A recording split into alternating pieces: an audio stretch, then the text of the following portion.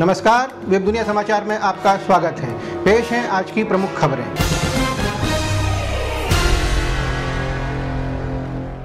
धोनी ने निकाली युवराज से दुश्मनी युवराज सिंह ने कहा। क्रिकेटर युवराज सिंह के पिता युवराज सिंह ने टीम इंडिया के कप्तान महेंद्र सिंह धोनी पर गंभीर आरोप लगाते हुए कहा कि धोनी की वजह से युवराज का विश्व कप टीम में चयन नहीं हो पाया। उन्होंने कहा कि युवराज के साथ नाइंसाफ़ी हुई है, पता नहीं धोनी को युवराज से क्या दिक्कत है। योगराज ने कहा कि निजी दुश्मनी के चलते ऐसा करना ठीक नहीं है। दूसरी ओर युवराज सिंह आईपीएल में सबसे महँगे बिकने वाले खिलाड़ी बन गए हैं, जिन्हें दिल्ली डेयर डेविल्स ने सोमवार को आठवें सत्र के लिए खिलाड़ियों की नीलामी में 16 करोड़ रुपए में खरीदा है। युवराज के लिए चार टीमों के बीच बोली की होड़ लगी थी। पिछले साल रॉयल चैलेंजर्स बेंगलुरु ने युवराज को चौदह करोड़ रुपये में खरीदा था। आईएसआईएफ ने 21 ईसाइयों को गला रेत कर मार डाला। आतंकवादी संगठन इस्लामिक स्टेट का एक और खतरनाक वीडियो सामने आया है।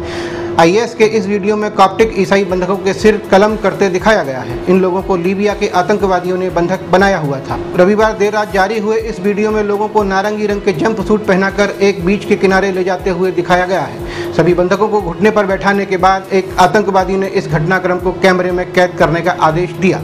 आतंकवादी वीडियो में कह रहा है कि हम अल्लाह की कसम खाते हैं, जिस समुद्र में तुमने शेख ओसामा बिन लादेन का शरीर डाला, उसे हम तुम्हारे खून से भर देंगे। इसके बाद सभी बंधकों का सिर उनके धड़ से अलग कर दिया गया।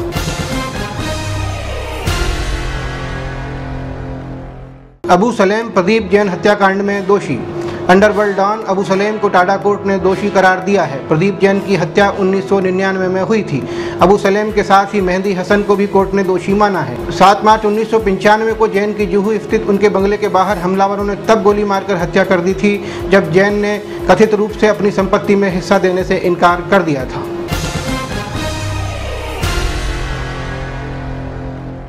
एक सौ सात जवानों की हत्या का आरोपी नक्सली गिरफ़्तार। छत्तीसगढ़ में करीब 107 जवानों की हत्या में शामिल नक्सली सुक्रम उर्फ़ ओयाती चैतू को पुलिस ने गिरफ़्तार कर लिया गिरफ़्तार नक्सली अप्रैल 2010 में चिंता गुफा थाने के ताड़मेटला में छिहत्तर सीआरपीएफ जवानों की हत्या के मामले में भी शामिल था।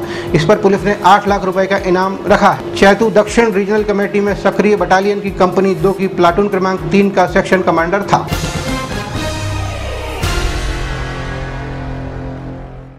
बाजीराव मुफ्तानी के सेट पर आदित्य पंचोली ने किया हंगामा। संजय लीला भंसाली की फ़िल्म बाजीराव मफ्तानी के सेट पर आदित्य पंचोली ने जमकर हंगामा किया। बताया जाता है कि उस समय पंचोली का मूड खराब था। उन्होंने क्रू मेंबर्स से झगड़ा कर लिया। इससे पहले कि मारपीट की नौबत आती, दोनों पक्षों को अलग कर दिया गया। हालाँकि एक दिन बाद आदित्य ने माफ़ी मांगकर मामले को खत्म कर दिया।